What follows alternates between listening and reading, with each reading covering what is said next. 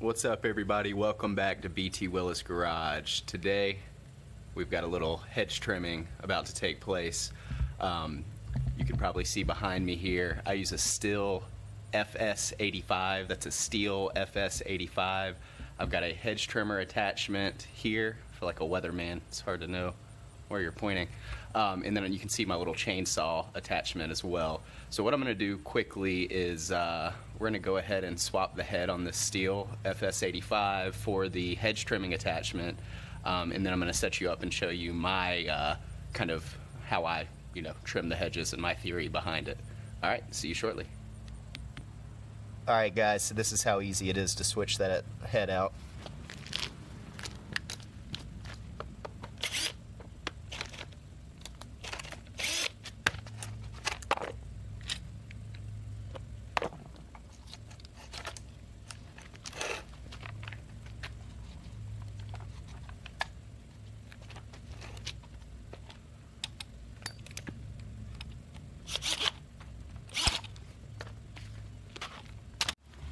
Okay, now guys, we've got our target right behind me here. You see this guy? Need a haircut? All right, so here's the strategy. We're gonna take our hedge trimmers and we're gonna trim the hedges. What I like to do is get a little Adele going in the earbuds and then cover up with uh, some nice hearing protection, eye protection, be safe.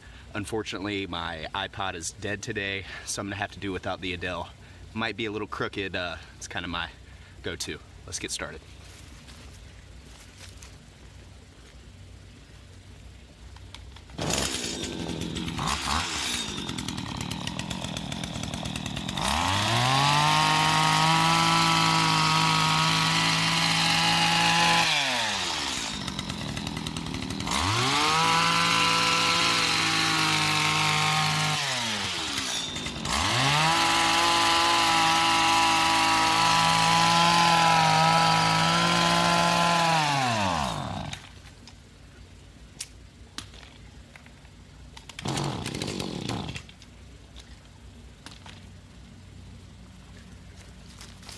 Guys, don't forget to put gas in your machine before you get started.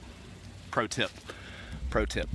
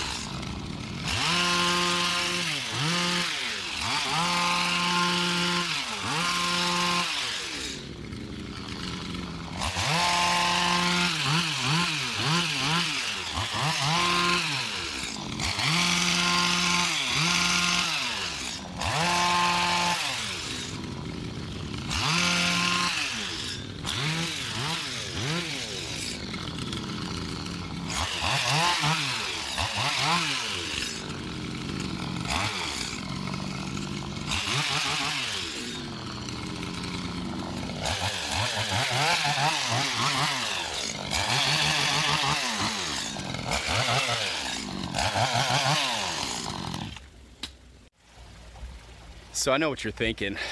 BT Willia, I'll never be able to get my bushes that perfectly trimmed. And you'd be right.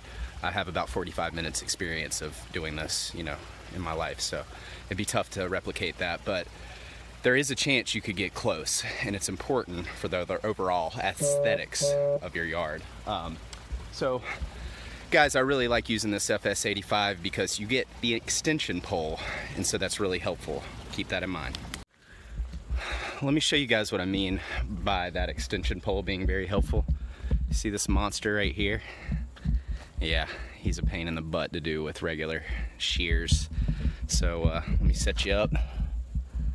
I'll probably edit this part right into me getting started. There you go.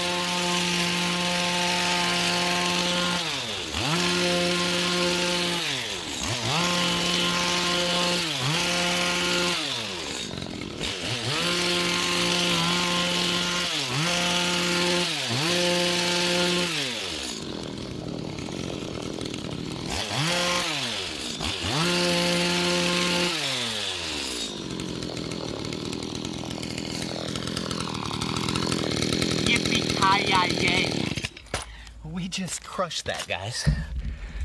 All right. I don't know if that sun was in your eyes as bad as I think it was, but.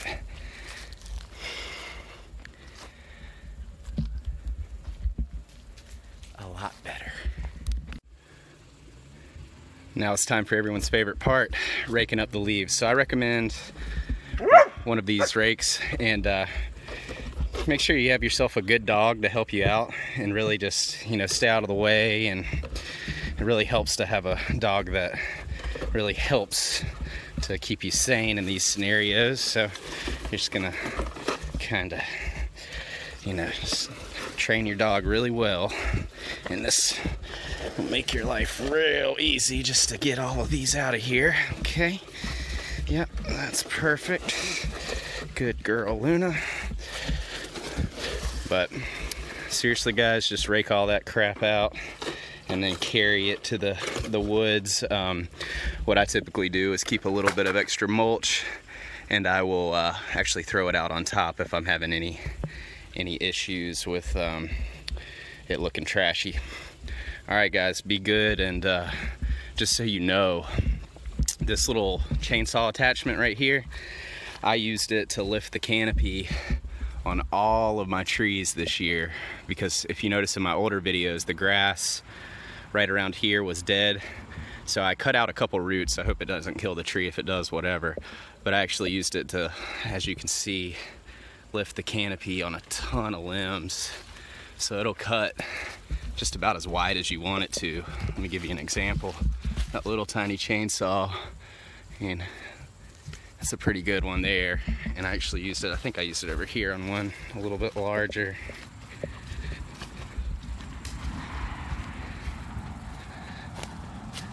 Yeah. So it gets the job done. Um, yes, I will be posting the lawn renovation video here soon, so keep an eye out for that. The grass is just still very, very young. I really shouldn't be walking on it, but it's all good. It'll live. All right, y'all be good. And uh, don't forget, don't litter.